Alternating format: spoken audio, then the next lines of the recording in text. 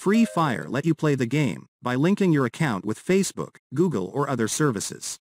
If for whatever reason you decide that you want to change how you log in to your Free Fire account, then you can transfer your Free Fire account login to another platform.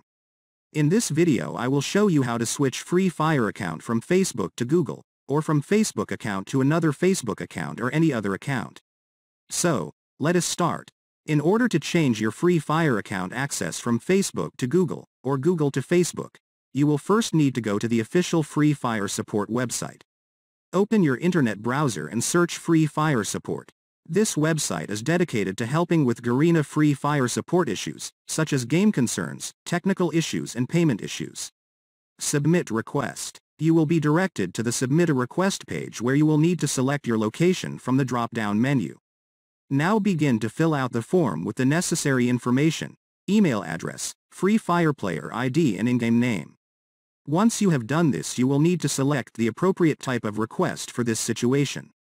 Changing your Free Fire account access falls under Game Concerns. On the type of problem select Technical Issue.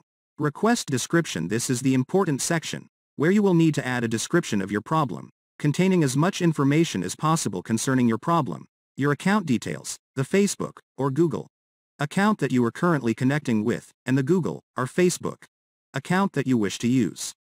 Here is a draft copy that you can use to fill in the description. Hello. My Free Fire account is currently associated with the following Facebook account. Enter Facebook details, and I would like to transfer this account to the following Google account. Enter Google details. Finish the description by adding any relevant information, even if you have already given it previously in the form. Email address, Free Fire Player ID, in-game name and server location. If you want to add any additional attachments, such as your profile photo, profile data you can add them as an attachment. Once you have completed the form, click Send Request. You will hopefully receive an email from the Garena Free Fire support team within a few days that will say that the transfer of your account has been successful. Thanks for watching this video.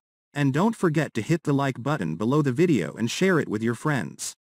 If you want more videos like this, then tap on the subscribe button and join us.